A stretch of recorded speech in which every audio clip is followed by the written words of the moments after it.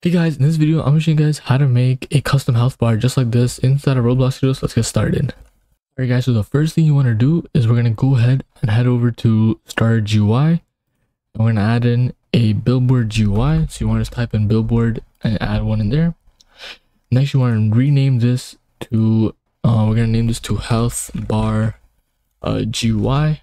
Now inside of this, guys, we're going to add in a frame and this frame we're gonna set the name to health bar.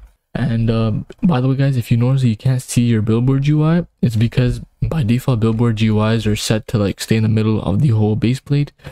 So what we're gonna do is quickly select our our billboard UI and then we're gonna scroll down to properties and then we're gonna find studs offset and we're gonna change the y-axis to 3 and now you should be able to see it and now we're going to change the position uh, sorry the size of the health bar frame to 1 comma 0 comma 1 comma 0 and this should fill this up all the way.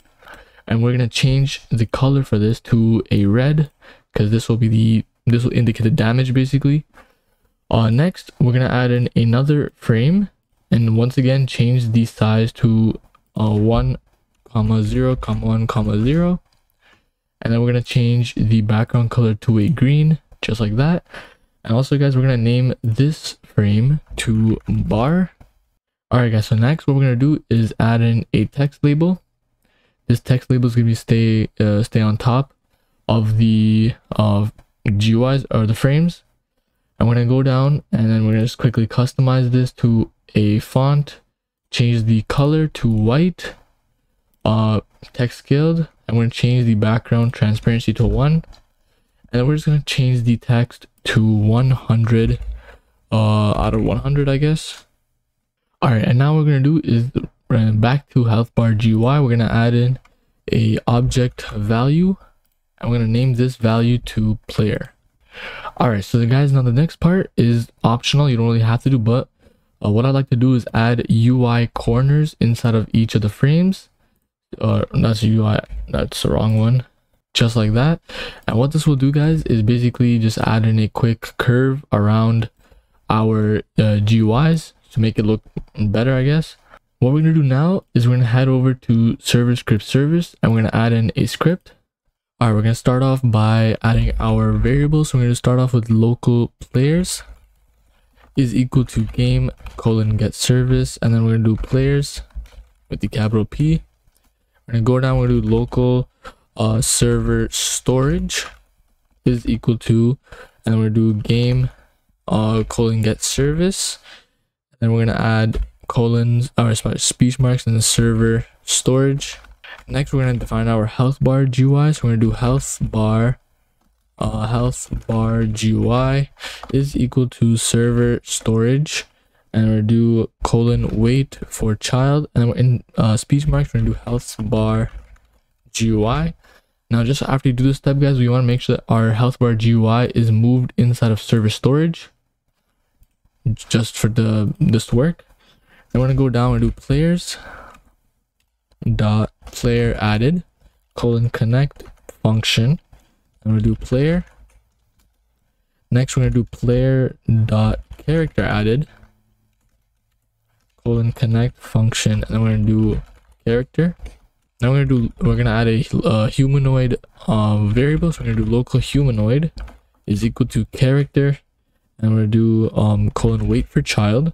And bracket and speech marks. We're gonna do humanoid with the capital h. We're gonna go down and add a health bar uh clone basically. So we're gonna do local health bar clone is equal to um health bar gui and then we're gonna do uh, the colon and then clone with the brackets at the end. Then we're gonna do health bar clone and then uh, colon wait for child. And then, um, alright, so my audio cut out, but yeah, in in uh, speech marks, we want health bar. And then we're gonna do colon wait for child again. And this time in speech marks, I do player. And then after this, we're gonna do dot value is equal to player. And we're gonna go down and we're gonna do humanoid dot health display uh distance is equal to zero and then we're gonna do health bar clone no health bar to health bar clone like that. Dot parent is equal to char. Oh, I need to make sure got these right. Yeah, is equal to character, and then colon wait for child. And we're gonna do head. Alright guys, so that's the first script done. Now what we're gonna do is close this and we're gonna go back to server storage and inside of our health bar GUI. And what we're gonna do is first make sure that every one of these, so the object value, the bar, and the text label are all inside of the health bar. And from here, we're from the inside of the health bar GUI, we're gonna add in a script. Uh, so with this script, once again, we're gonna start off with our variables. Variables, we're gonna do local uh, player is equal to script dot parent colon wait for child and we'll do in the we're gonna do players and then dot value. Then we'll do local character is equal to player dot character. Next we're gonna add the local uh, bar. So we're gonna do local bar is equal to script dot parent and then colon wait for child. And we're in these we're gonna do bar or health bar. Next we're gonna add the text label. So we're gonna do local uh, text label is equal to script dot parent wait for child and we're gonna do text label. And for the final one we're gonna do local humanoid. Uh, humanoid is equal to character colon wait for child. All right so now we're gonna add in a function. So we're gonna do function and we're gonna call this to update. And add a bracket. And once you go down you should have an end up here then we're gonna do health bar uh, dot tween size or colon tween size. We're gonna do udim two dot new. And inside of these brackets, we're gonna do humanoid. And we're gonna do dot health. And then we're gonna do space. And we're, we're gonna go out of these brackets. And we're gonna do humanoid dot max health. And we're gonna do comma comma zero and then comma one and then do another comma zero. And then we're gonna go outside these brackets and then we're gonna do uh, comma enum uh, dot easing direction. And we're gonna do dot out and we're gonna do enum and then another dot easing style. And then we're gonna do dot out comma one comma true and once we just zoom out and there should be a bracket here a closing bracket. So this part is pretty long. Um next we're gonna go down and we're gonna do text label. Dot text is equal to math dot floor we're gonna add a bracket. We're gonna do humanoid. We're gonna do dot health. Let me just zoom in real quick so i can see this properly and then we're gonna go outside the brackets. And we're gonna do dot dot. So this is a concatenation basically. And we're gonna do uh, inside of the two speech marks we're gonna add a slash.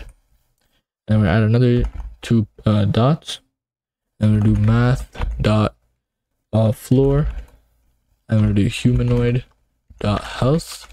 This should be max health by the way. Just like that.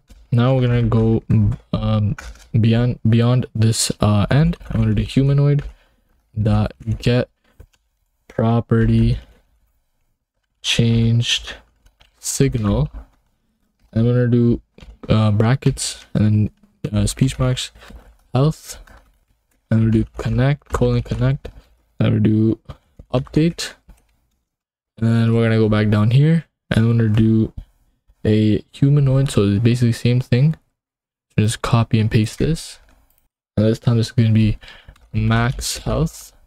Alright guys and that is the final script done. What this basically does is handles the main system i guess for how it will look. And so what you guys want to do now is make sure this script is inside health bar gui and now we can go ahead and test the game out. Alright guys so just before we start testing um one more thing i did test the game but it wasn't working i found a bug. And what we have to do basically is make sure that the script was inside of the health bar and not the health bar ui uh, but yeah, after this, it should work. So if you go ahead and test the game, you should see that it adds a custom health bar over my character. Now it might seem a little dim on one side, but that's just because of the sun. If I move to this side, you can see it's proper. Uh, now to test this out, there are two ways you could do multiplayer and add swords or add a kill brick or something, but easier way what all you have to do is go into testing and you're gonna find a button over here called current client. If you don't see this on the home tab, you can go to test and you'll find it over here. But either way, we're gonna click this and then just follow our character basically. And then we're gonna head over to the Explorer, open up workspace. You're gonna find your character, open this up, and you wanna find humanoid. And the properties, scroll all the way down until you find health. And let's just change this to, I guess, 10. And just like that, our health changes if we go back to um, current server. And that's basically for this video. So hopefully this video did help out. Be sure to like and subscribe. And if you guys have any issues or any other video ideas, comment on the section below. And I'll see you guys in the next video. Bye.